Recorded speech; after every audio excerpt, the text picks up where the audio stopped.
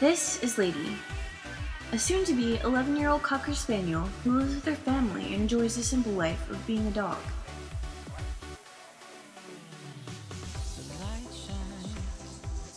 Her favorite treat of all time is a carrot, and you can grab her attention in any situation by simply saying the word.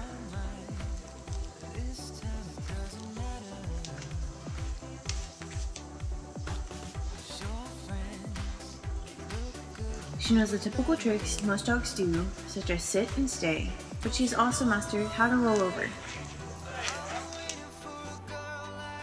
Lady's the proud owner of many toys, but no toy can compare to her baby ball. This tiny brown football she has kept in her life for around 9 years, intended as a stress reliever for people, she has taken it and treated it as if it were her own baby. Without it, she will mope around for days, depressed and whiny. Baby ball goes everywhere.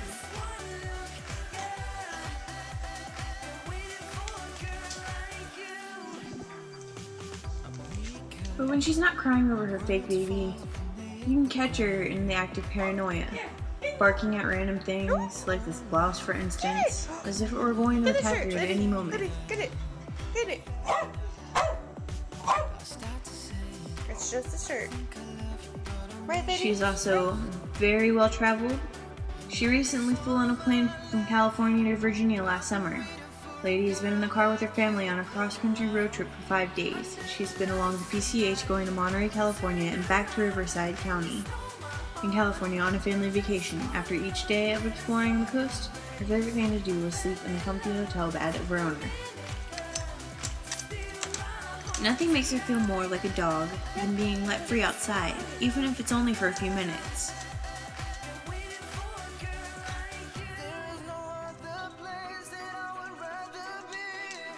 There, she can roam around, sniffing and searching for anything she might be able to get into.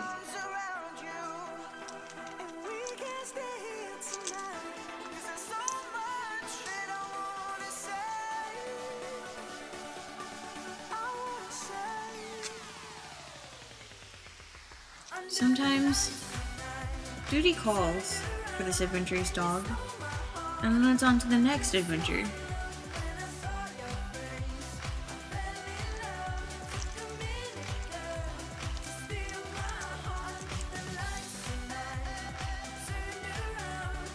But again, duty calls. But I guess that's just the life of a dog.